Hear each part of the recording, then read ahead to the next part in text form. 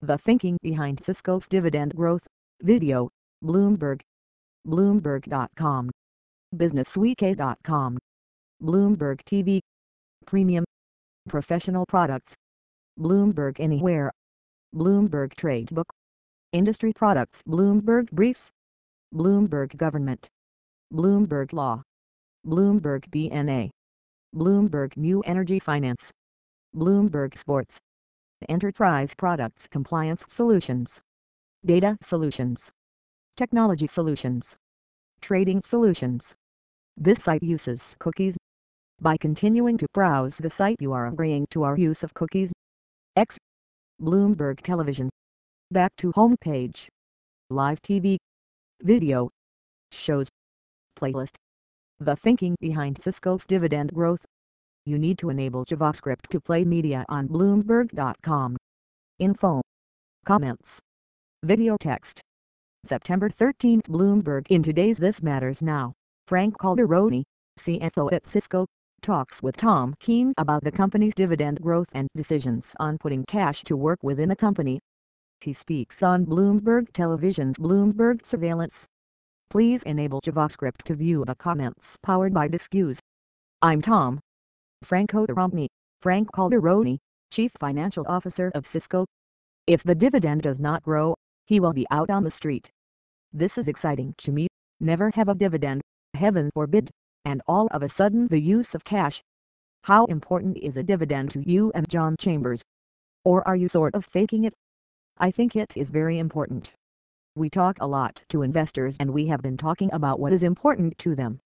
A little over two years ago we did not have a dividend and now we have one of the highest yielding dividends in technology, just under 3% yield currently in the matter of a little over two years. It is listening to investors, what is important to them. We started with a low dividend and we increased it since. It also shows the level of confidence we have as a board and management. What is the dividend growth? I don't want to pin you down, but is it double digit or is it angle digit? Verizon, where it is barely growing, or would you make it pop?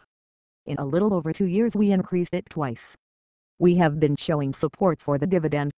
One of the key things we let out to investors, in addition to returning cash to shareholders we want to set a minimum of 50% annual free cash flow that we will contribute to the dividend and stock buyback. I love that. I know you are a big company if anonymous GDP, a phenomenal GDP play. But you have guys whispering in your ears, save the dividend growth for investment. We have cash, $50 billion of cash. We want to use the cash to return to shareholders but also to continue to make investment in our business to grow in the 3% to 5% range, I am sorry, 5% to 7% in 3 to 5 years. We do that through organic as well as acquisitions. All executives walk up to the CFO's desk and there is a big sign flashing, no. What does it take to get you to say yes? We look at our portfolio on a regular basis and it is making the trade-offs. What are the areas we want to make an investment in?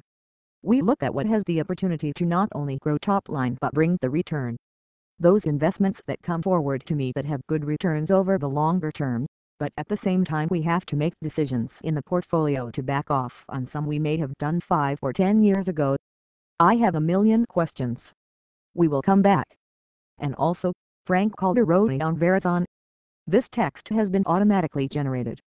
It may not be 100% accurate. Most watched videos. 257. The hands-on impression of Apple's new iPhones. 0 minutes and 39 seconds. Ferrari's newest coupe, 62 miles per hour in 3 seconds.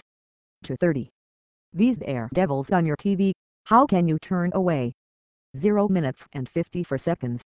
This is Porsche's most expensive supercar ever. Advertisement. Connect with Bloomberg TV Facebook Twitter Purchase and interview Bloomberg TV Plus app. BTV Channel Finder. United States Albania Algeria Andorra Angola Argentina Armenia Australia Austria Azerbaijan Bahrain Belarus Belgium Benin Bosnia Botswana Brazil Brunei Bulgaria Burkina Faso Burundi Cambodia Cameroon Canada Central African Republic Chad Chile China PRC Colombia Comoros Congo North Congo South Costa Rica Croatia Cyprus Czech Republic Democratic Republic of Congo Denmark Djibouti Ecuador Egypt Equatorial Guinea Eritrea Estonia Ethiopia